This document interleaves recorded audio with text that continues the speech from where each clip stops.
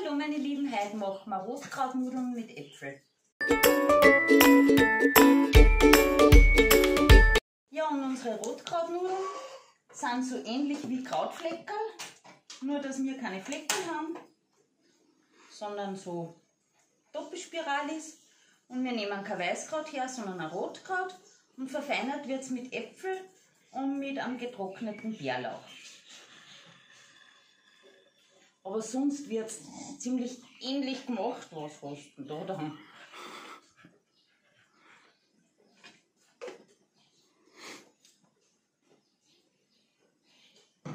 Wir haben da eine weiße Zwiebel. Ihr auch rote oder gelbe nehmen. Einfach klein gewürfelt. Die tun wir jetzt ein bisschen anschwitzen. Ja, jetzt schön ausputzen.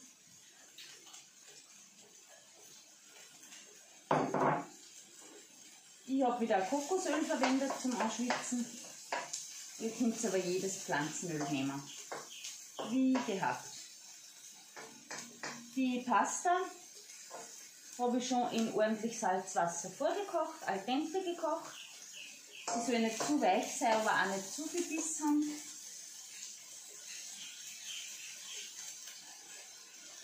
Und das Kraut habe ich eben einfach so ganz fein kackelt. Ihr könnt es mit einem Hobel hobeln. Und ein bisschen Gemüsebrühe habe ich mir noch vorbereitet. Da sehen wir dann erst, wie viel das wir genau brauchen. So, da geben wir jetzt gleich das Rotkraut dazu. Ihr könnt das auch mit Weißkraut machen. Ich habe da einen ganzen kleinen Kopf. Wie viel werden der gehabt haben am Küchen? Nicht ganz 300. 300 Gramm, ja. Aber es kommt halt immer darauf an, welche Mengen das macht. Ihr wisst es am besten. Große oder kleine Essersatz, wie viele Leute das mit essen. Aber eben, es kann da ruhig ordentlich Kraut drin sein. Das lassen wir jetzt circa 5 Minuten dahin schmuchteln. Da jetzt gleich noch einen Schluck Balsamico-Essig rein, dass sich der gleich mit einarbeitet und einreduziert. Circa 5 Minuten, dann bin ich wieder bei euch. Schaut ihr So, jetzt haben wir das schon ein bisschen angebraten. Rotkraut hat eine schöne Farbe. Jetzt machen wir da in der Mitte schnell ein bisschen am Glas. Da geben wir unsere Äpfel rein.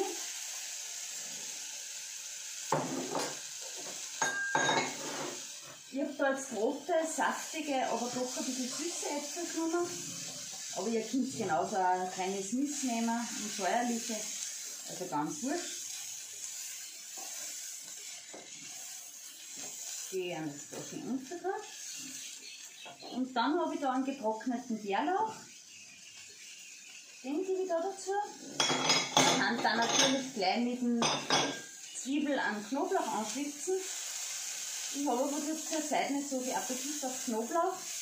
Und ich habe noch einen getrockneten Bärlauch daheim. Also habe ich den jetzt verwendet. Der ist übrigens jetzt schon ein Jahr alt, oder mehr als ein Jahr, und riecht immer noch ganz hervorragend. Ich habe ihn in einer Dose luftdicht verschlossen und es hat wirklich nur ein super Aroma.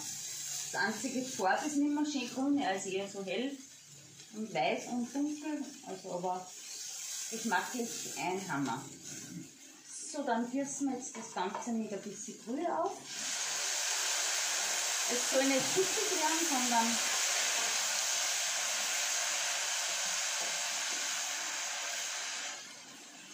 ein bisschen noch.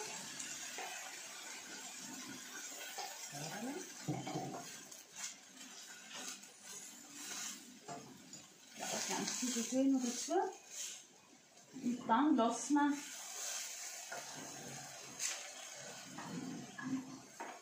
das bei mittlerer Hitze, drehen wir ein bisschen zurück, lassen da die Flüssigkeit einreduzieren. Wir können jetzt schon ein paar Tropfen dem flüssigen Rauch dazu dann, falls ihr ein bisschen ein Raucharoma haben wollt. Und was haben wir dann gemacht?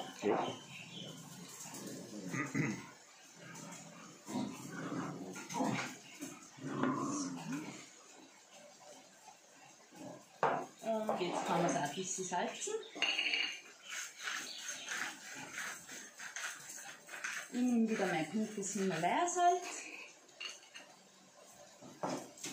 Dann einen kleinen Spritzer Zitronen- oder Limettensaft und einen kleinen Spritzer Sojasauce. Ich habe da wieder den Pilzgeschmack.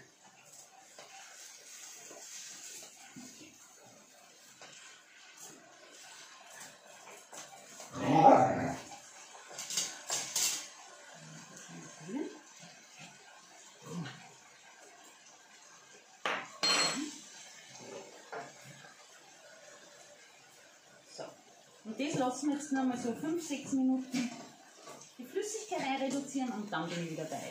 Ciao dabei.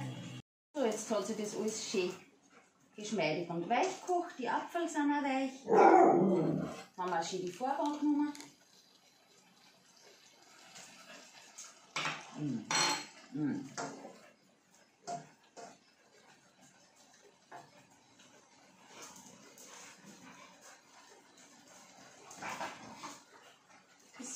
Sojasauce tue dazu. Aber eigentlich passt schon. Mit der Salzigkeit, mit der Säure und mit der Süße. Dann kommen unsere vorgekochten Nudeln rein, die Pasta. Ihr könnt da wirklich wieder jede Pasta verwenden, die ihr daheim habt. Das kann auch jetzt eine Buchweizenpasta sein oder Kichererbsenpasta. Das können Fleckerl sein oder Spiralis. Nur mit Spaghetti, glaube ich, ist nicht so schön. Ja, es sollten schon kurze Nudeln sein. Eben besser sind aber so kurze, so Macaroni. Fleckerl waren optimal. Aber eben auch die sind super. So. Dann werden wir das ordentlich mischen.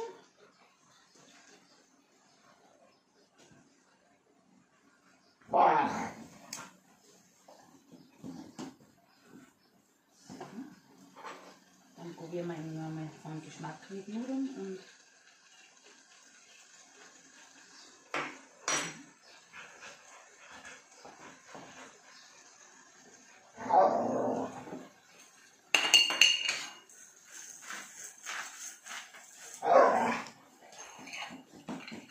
bisschen salzen.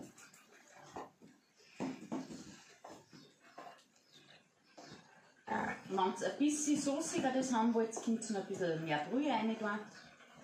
Aber mir passt das so perfekt. Dann können wir auch das Ganze anrichten.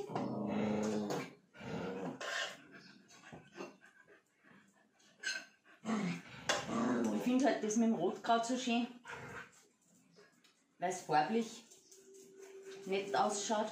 Das ist das, was mich normal bei den Krautflecken so stört, weil die optisch nicht so schön sind. So, und dann habe ich da noch einen veganen Sauerrahm. Dann geben wir da noch als Garnitur drauf. Und wir sind fertig. Ja, locker. Falls schon wieder sein Kind. Locker, du nicht Tanner fressen. Ich wünsche euch wieder viel Spaß beim Nachmachen, gutes Gelingen und sage Bye bye, bis zum nächsten Mal. Ciao.